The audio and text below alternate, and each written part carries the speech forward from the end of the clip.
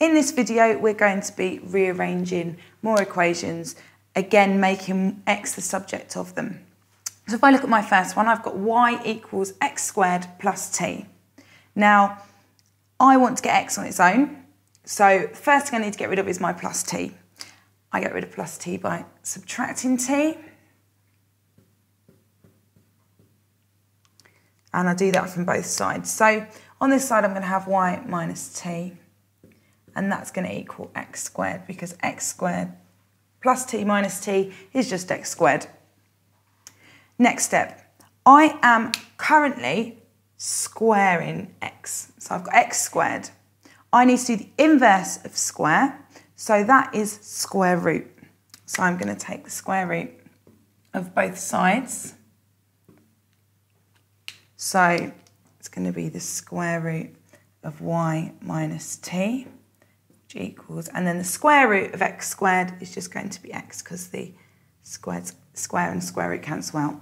Now, if you think about having x squared equals 9, and then take the square root of both sides, you would end up with x equals positive 3 or negative 3, not just 3. So we need to make sure we remember to put plus and a minus there because then we take both the positive and negative solutions. And now we like our x to be on the other side, so we're going to just rewrite it exactly as it is up here. So x equals positive and negative square root of y minus t. And that's our first solution. Now, if we look at this example, we've got y equals the square root of x divided by 2g. So I want to get my x on its own, but I currently am dividing by 2g and then square rooting. So the first thing I want to do is get rid of my square root. So how do I get rid of square root? Well, I'm going to square both sides. Put my little two in brackets. So on this side, we're going to have y squared.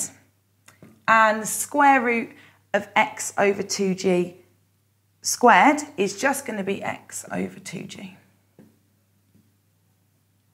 And now I want to get rid of my 2g, so I get my x on its own. And because I'm dividing by it at the moment, I'm going to multiply by 2g, multiply by 2g on both sides.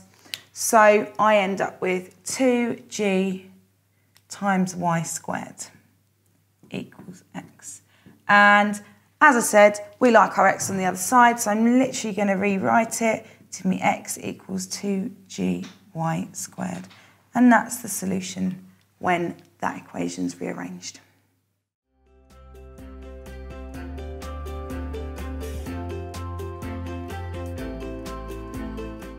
Okay, Mary, so let's have a look at this one. So solve x plus 2x equals 12. So what do you think you do first? Okay, well I want x on its own, so I would put x equals 12 minus 2x. Okay, so a lot of the time we want to get x by itself, but what we want to do first is get all of these x's together. So can you see anything we can do with this? Get all these together in one place. Oh, okay, it's 3x, isn't it? Yeah, so absolutely. 3x equals 12. Oh, and so x equals 4. Brilliant, spot on, well done.